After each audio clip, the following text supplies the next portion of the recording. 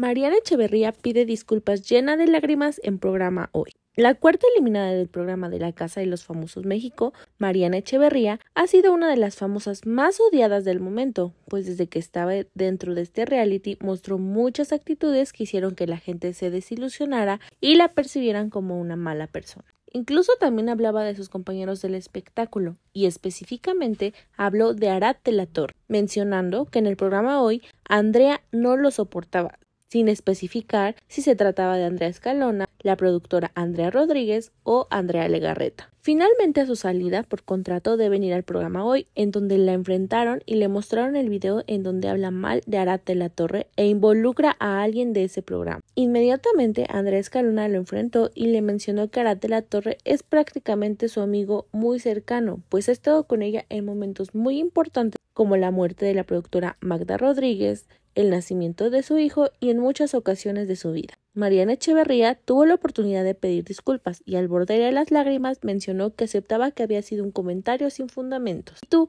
qué opinas de todo este show?